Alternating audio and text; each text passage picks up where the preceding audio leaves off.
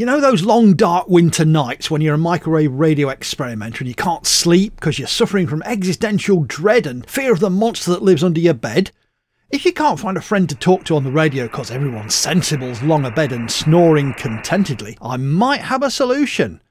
Down in Staffordshire, about 120 kilometres from here, on the other side of the Peak District of Derbyshire, there's a wonderful resource mounted on the hill at Mow Cop. Fantastic name. Probably comes from the Welsh moel or hill with cop, meaning head, appended. There's an outcrop of rock above the village with a striking castle ruin on top, or what looks like a ruin. It's actually a folly built in 1754. Also on the hill is a Web SDR, which consists of a 10 GHz omnidirectional slot antenna, a repurposed satellite LNB, and a software defined radio, connected to a web server with an internet connection, hence WebSDR.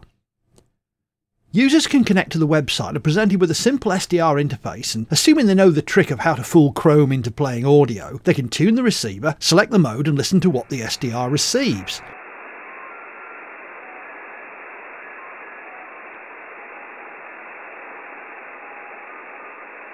For years I've used it to test my 10GHz microwave transmitter, as the path to Mow Cop from here is marginal and only works if my station's working at tip-top performance.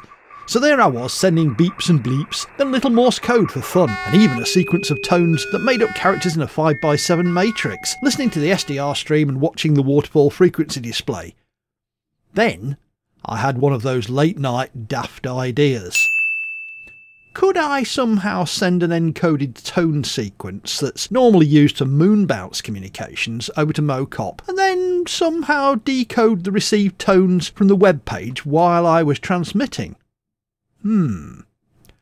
As with most things to do with a computer, the answer was Duh. Easy peasy. You're a computer radio and machining nerd, aren't you? How hard can it possibly be? Just get on with it. So, with Amy's uh, encouragement, I set about hacking something together. It'd be easy enough to run a second computer and do the decoding on that, but that's a bit too boring and ordinary.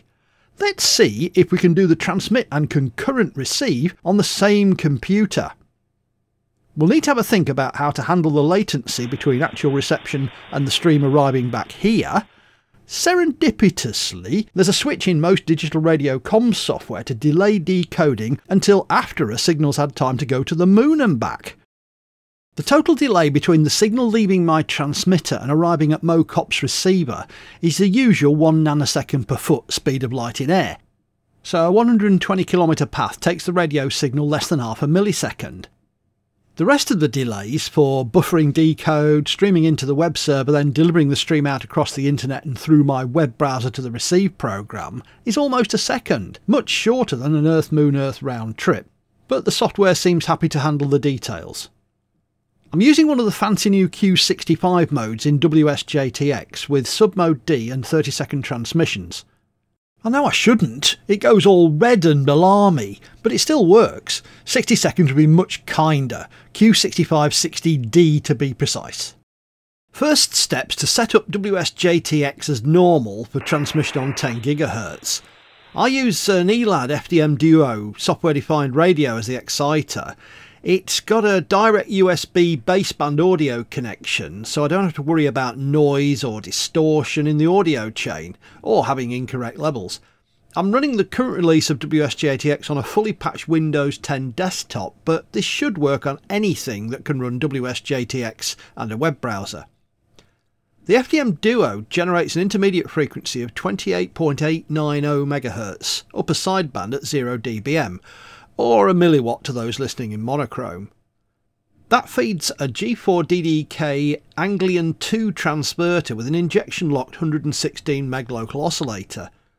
The locking signal comes from an ADF4351 synth board which is locked to my main station clock which itself is locked, loosely, to a GPS disciplined oscillator. None of that matters for this experiment, so long as you can stay on frequency for a couple of minutes without drifting more than perhaps 200 Hz at 10 GHz. I'm using a kit-built Kuna G2 transverter at the masthead.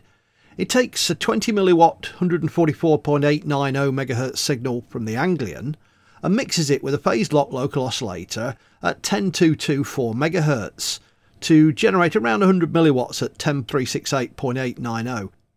That feeds a 10 watt GaAsFET amplifier and then goes through a waveguide relay to a WA6 KBL Pickett Potter dual mode feed horn that I made to Jeffrey's pattern as published in Dubus.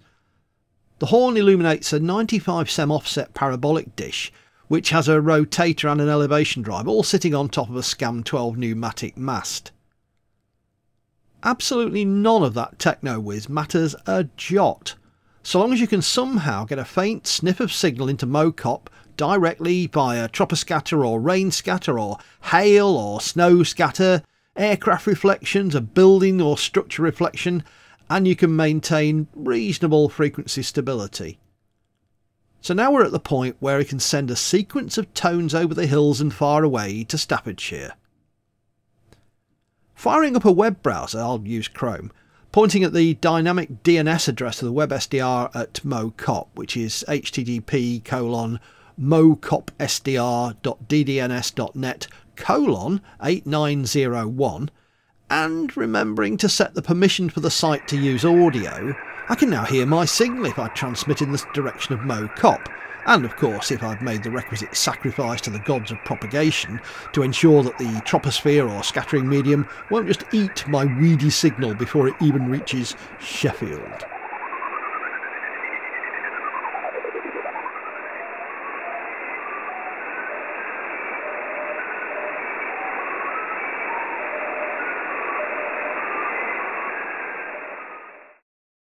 Huzzah! I can hear my bleeps and bloops coming back after a trip through the nether regions of cyberspace from the SDR receiver and web server over in IO83VC near that daft folly, squatting proudly but dishonestly on top of its outcrop of millstone grit at the farthest reach of the dank and fog-ridden Staffordshire moorlands.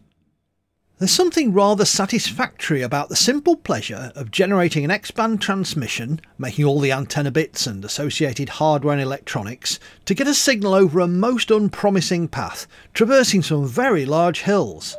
Neil, remember you are from Lincolnshire, which is notoriously flat, right?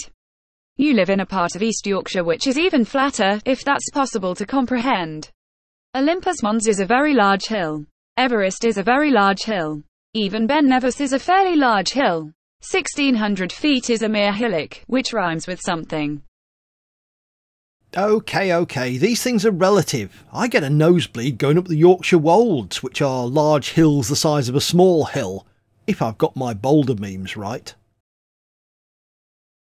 I'm using Audacity to take the loopback interface of the PC speaker audio from Chrome and running with software playthrough of input enabled with the output feeding a virtual audio cable which is what the second WSJT-X instant points at as its input stream. This is the sort of thing I get up to when I'm not machining or designing stuff or running simulations in the dark watches of the night. If you've stayed with me to the end then thanks very much for indulging me. Next video we'll be machining a new tool for the shop.